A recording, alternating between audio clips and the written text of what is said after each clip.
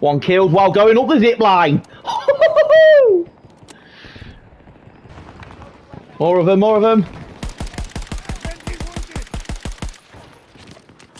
Why is that guy still floating in the air? Let me help you!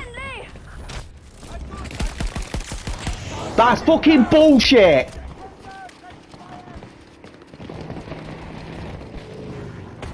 Oh, Holy shitballs! Oh, ah, come on, mate, leave me alone. I just ducked you. Why do you want to kill me now? No, you son of a bitch!